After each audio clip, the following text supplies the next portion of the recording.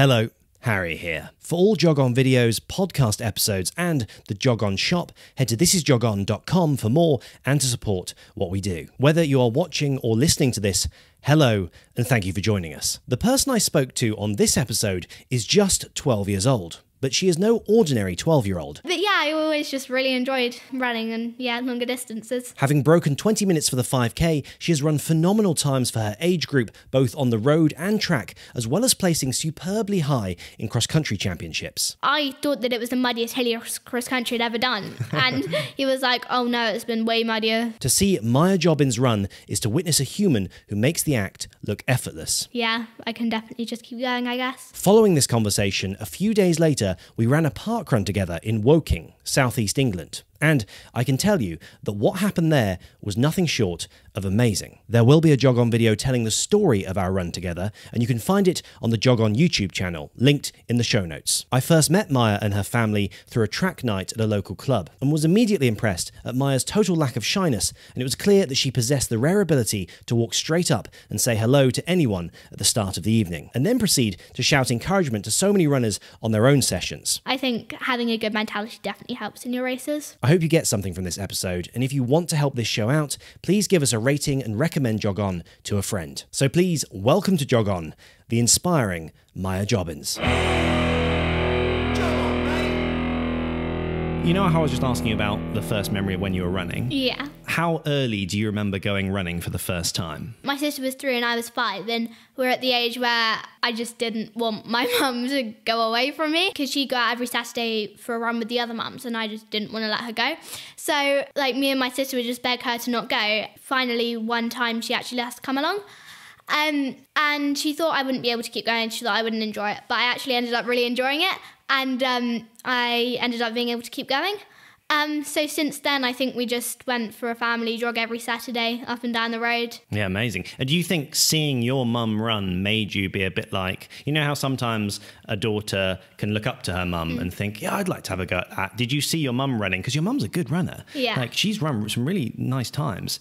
Um, is there a part of you, do you think, when you were super young that you were thinking I'd, I'd quite like to do what my mum's doing because she's running? Honestly, back then, I'm not really sure if I cared about what she was actually doing. I more just cared about being with her. But yeah, once I started, I just really enjoyed it. And after that, I just wanted to keep on running. And did you find quite quickly that you had an ability? Did you did you find that you were quite good at it, or did it take a little while? Well, because I was quite young when I started, and we were just going for casual drugs up and down the road like once a week. It wasn't really a serious thing, and I wasn't really comparing myself to anybody else. But I think it was maybe year two sports day.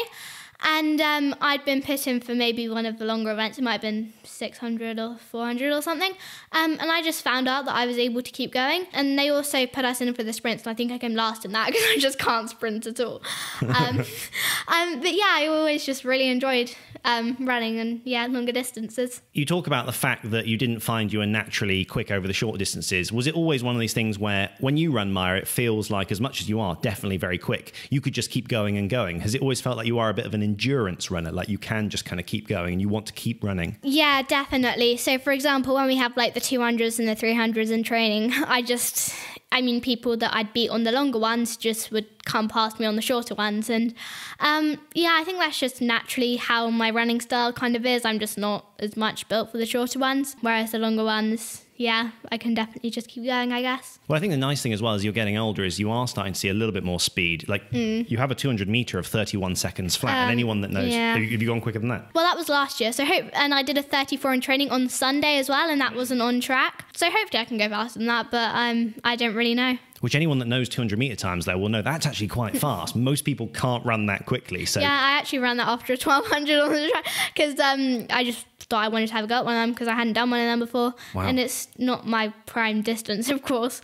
Um, the 1200 was the one that I was kind of prioritizing, but yeah. yeah. Well, 200s are just fun as well. Like they're just a chance yeah, to just go fast. Exactly, yeah. And I mean, afterwards, you're not, well, I don't find myself out of breath, but I think the thing is, because I don't find myself out of breath, I also feel like as hard as I'm pushing myself, I just mm. can't get any faster, even though I'm not tired after it, which is a weird feeling. And it's not an annoying feeling as well. So at the moment, you're running a little bit of track. You've done obviously park run and thus some road stuff and you're also doing cross country. Do you have a favorite surface that you like to run on? Is there something you feel like I really enjoy this the most? Cross country, I definitely didn't like the mud. Um, I don't think that is my surface because my stride length is quite long um, and my cadence is quite slow because my stride length is quite long. So it just really didn't suit me. For example, like Parliament Hill, it was just, I was, it just drained the energy out of me. But yeah, track, I think um, like hard surfaces, I don't know, I just prefer them and I just feel like I'm able to get my speed up a lot quicker and um, everything. So I think with the hard, like the harder surface cross countries as well, I definitely perform better in them. But yeah, I mean, I'd probably say I prefer track. Also, because it's less pressure than cross country, I find. And some people feel like it's more pressure, but I find it less pressure, I'd say. That's really interesting. Yeah, you're kind of the reverse. Because I had people even speak to me on this podcast and say that track running to them is.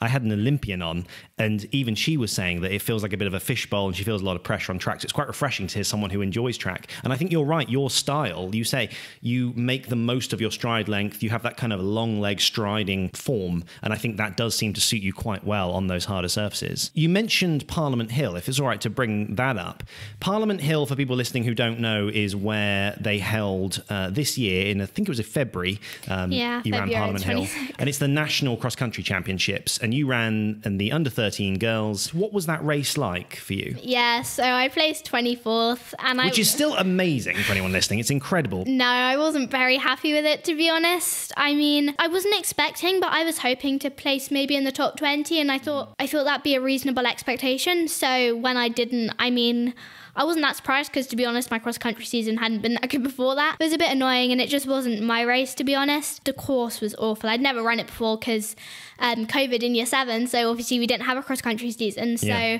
I was top year under 13s, but obviously that was my first time running it. And yeah, I just didn't have the best race. Was it the legs that went, or was it your breathing, or was it just you didn't like the muddiness, or Well, um, I think after may- maybe top of the second hill, because you go up the first hill, down, across, and then up the second hill. I think the top of the second hill, I was maybe in 10th to 12th. And then after that, it just went, to be honest. And yeah, I think it was just my legs because I just wasn't used to that at all. Mm-hmm. I just never felt anything like it, to be honest. And I found myself just wishing completely that it was over, that I was just yeah, and my coaches were um, yelling at me like, "Come on, Maya, pick up places. We could do really well on the team."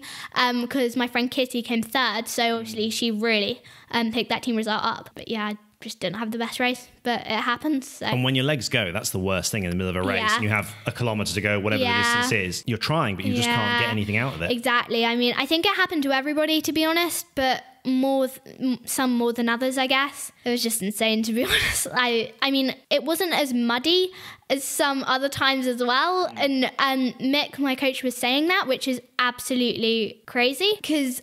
I thought that it was the muddiest hilly cross country I'd ever done. And he was like, oh no, it's been way muddier some other times. And Yeah. I know that I'm going to have to run double that and even more of the hills when I get into like older age groups, um, which is pretty insane. So yeah, But then there was a cross country race that you had a while afterwards, and you placed pretty well at it, didn't you? That was a better result. Where was that? I'm trying to remember. um, it was in Loughborough. It was the UK inter counties.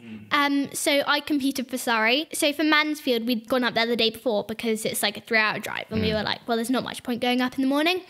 So, um, and we'd stayed somewhere the night before, and it was it had really good food. So we stayed there the same place for Loughborough the night before in the intercounties. And honestly, I was just there for the food. Like the chicken was amazing, and I wasn't expecting to do well because obviously Parliament Hill wasn't what I was hoping. yeah. So I was just hoping to improve my place from nationals, and um, yeah, I came third, which was really unexpected. Yeah, that's amazing. Yeah, it, it wasn't what I was expecting at all, and I was really happy just to like kind of end it on a high, I guess. And did it give you some confidence back in your cross country running, thinking, actually, I can run cross country? Yeah, definitely. Because I mean, I kind of felt a bit defeated after Parliament Hill. Like, oh, it's not been my season. Move on to track. At least it's nearly over. But yeah, after that one, I was just honestly so happy that I'd placed third. And we had one more after that, which was English schools.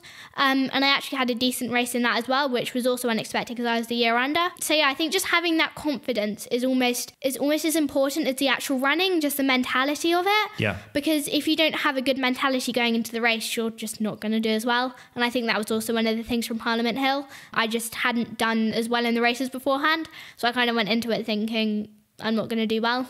And I didn't do well. So, yeah, I think having a good mentality definitely helps in your races. I think that's very wise and for you to realize that now because a lot of runners don't realize it until quite late. You know, they might get to late 20s, early 30s, and beyond, and only then start to click. Actually, if I start to look at this a little more positively, I might literally physically my running will improve. I think mentality is a really big point. So uh, you've done well to clock onto that this early because I think it will serve you well.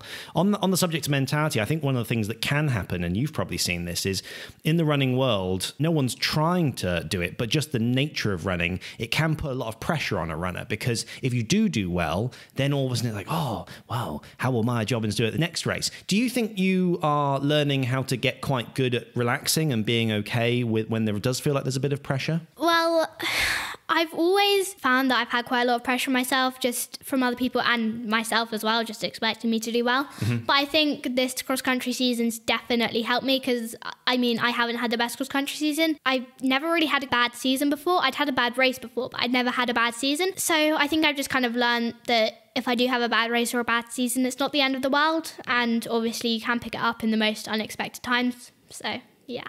Brilliant. One of the things I want to ask you, Maya, was about other sports. Obviously, for you at the moment, running is the big thing. Is there anything else you've ever really been interested in, or has it always felt like I want to run? That's that's my main sport. Well, I guess running's always, of course, as you said, been my main sport. But I also do swimming and I do gymnastics, but that's only once a week. So, yeah, but I tend to do swimming maybe three times a week because I take running as like much more of a priority. Everybody is like before swimming races, like, why aren't you scared? Why aren't you nervous? And I'm like, and I just imagine myself on the start line of a cross country race, and I'm just like, well, there's much worse things. And yeah, so I love swimming because it definitely just takes the pressure off, and I enjoy it. And people don't expect me to do as well, so I think that's another thing that I am really, really enjoy about it. Yeah, I've never been as naturally good at it. Um, but yeah, I've always really enjoyed it. That's interesting, though, that because you don't feel like you're quite as strong at your swimming, it kind of makes you relax more and you can sort of even go to races and, and, be quite relaxed. That's nice. And maybe there'll come a point when, even though you know you're good at running and other people know, you can bring a little bit of that swimming mentality and think, well, I'll treat it like swimming. I'm relaxed at swimming, so I can kind of relax with my running.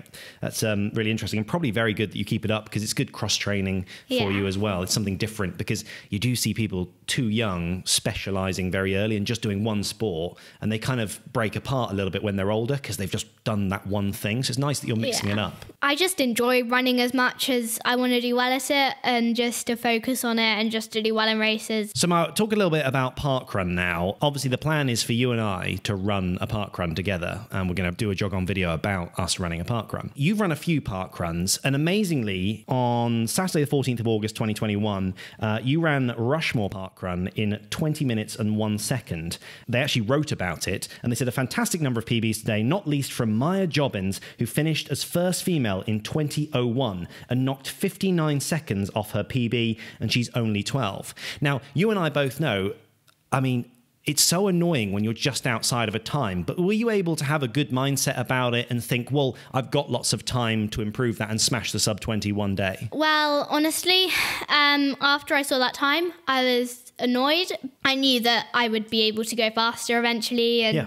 to smash that 20 minutes. Of course, I would have rather got sub 20, but I didn't mind too much that I didn't. That's good. That's good that you can see that and you've got the perspective to be like, well, I've got loads of time. I will definitely be able to get there when I want to. Then on Saturday, the 20th of November 2021, you turn up at local parkrun Alice Holt. Now, for people listening to this that don't know, Rushmoor, pretty flat the whole way. Alice Holt, hills, forest, trail, very hilly, and I've run it myself. I've never run a sub 20 Alice Holt. And yet you went there and ran four seconds inside. You ran a 1956, which is crazy. And that is your park run PB. For all park runs. that's your fastest park run. If anyone who's ever run Alice Holt will tell you that's not meant to be a PB course. So what happened that day? I'm not really sure. Um, because I think maybe the time before that, I think it was probably a couple of months before that, I had a really big Mr. Whippy ice cream because they have like a cafe there. Um, and I got that afterwards as like kind of like a reward. So to be honest, I was just kind of there for that. I wasn't really there for the time. I wasn't really there for the park run. I was just there for the ice cream. Um, so I was um, really happy and really surprised that I managed to um, get that time. And I think I definitely paced myself a lot better because the time before I went way too quickly on the first downhill. And um, as you said, it's really hilly, so I just kind of died on the hills, which is a stupid mistake to make. I didn't expect it at all. Like, I stopped my watch. I saw, I think I got a 1957 on my watch, and I was like, is this right? Have I like has it have I accidentally paused it like somewhere in the middle Yeah. and like turned it back on? Have I lost a couple of seconds? Like I had absolutely no idea what had happened. So I was really worried that when the times came through it would be like just outside twenty again. But yeah, it wasn't and I was just really happy about it. Yeah, I, I have not run that quickly on Alice Holt, and it makes me slightly concerned for when we run Woking Park Run together that you have a 1956 on that course. What are you going to do at Woking, which is much quicker? So I will let you set the pace, and hopefully I can cling on for dear life. Um, how do you want to approach it? It's three laps. Do you want to just pick people off? Do you want to see how you feel after 2K? How would you like to do it? I would just like to start off at maybe a reasonable pace, hopefully inside four minutes, probably, and maybe just able to turn it up a notch. And I always find for myself that the third and the fourth K is the slowest and the hardest, especially the third, because it's like, oh, I'm just over halfway. Yeah. Mhm. Keep it consistent, I guess. But yeah, pick it up on the last 2K, I'd say, but start off at a reasonable pace. It's very hard to say because you're so far away. Are you just kind of taking every day as it comes, or is there a goal one day of running some bigger distances? Do you ever watch the 10Ks, the half marathons, and the marathons and think, one day I think I might like to do some bigger distances? How do you look at it? Well, I mean, I'm only 12, as you said, so I'm just taking it one day as it comes. And I mean, I like track and I like longer distances. I just don't want to take it too seriously right now because obviously I'm just so young that there's no point.